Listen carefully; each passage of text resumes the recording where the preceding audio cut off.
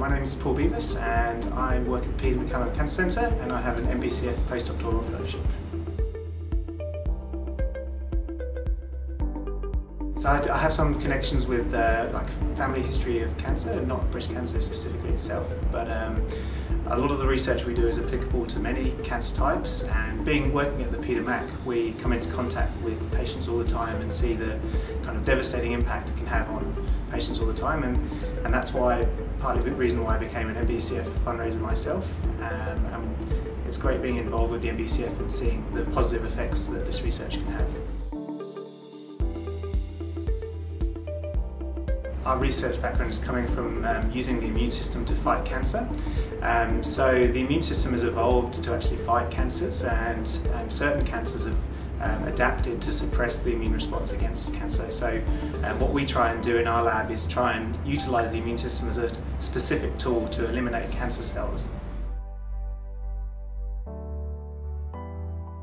We're already achieving some nice preclinical results um, from our NBCF funded uh, work and so we we had that recently published and we're hoping to kind of progress that into a clinical trial in the future um, in collaboration with some of the kind of breast cancer oncologists we have at the Peter MacCallum Cancer Centre.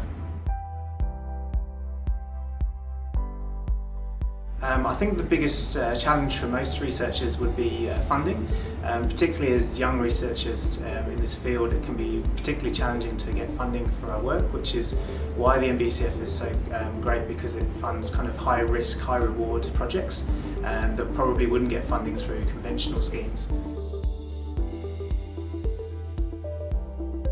So when people find out that I'm a scientist researching breast cancer, um, they're obviously always really interested to know whether the, the, we've found the cure and, and, how things are going. So um, we often just keep them updated with what's going on in the lab and actually getting that feedback from, from people outside of the lab. It's really important for keeping us going and keeping us motivated for what we're doing.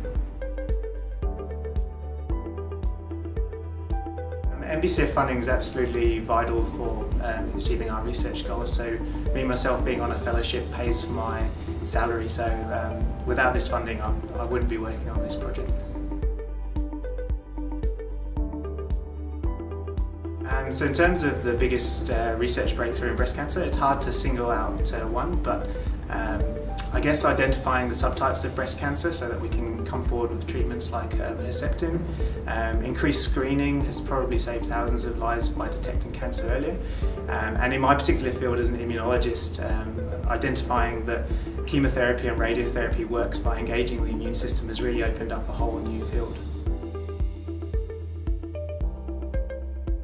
Attaining zero deaths by 20, 2030 is uh, definitely a really high aspiration to get towards. So it's 15 years away, and in the last 15 years, we've made tremendous leaps um, in, in, terms of patient care, um, diagnosis, and treatment. Um, so I would expect in the next 15 years, we're going to see a similar um, advancement in all of those aspects.